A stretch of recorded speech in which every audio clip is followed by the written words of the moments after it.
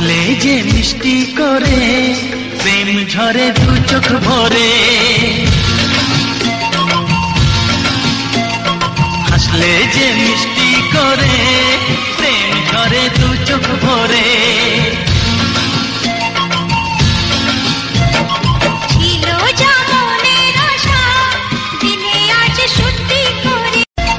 হাসলে যে মিষ্টি করে প্রেম ঝরে দু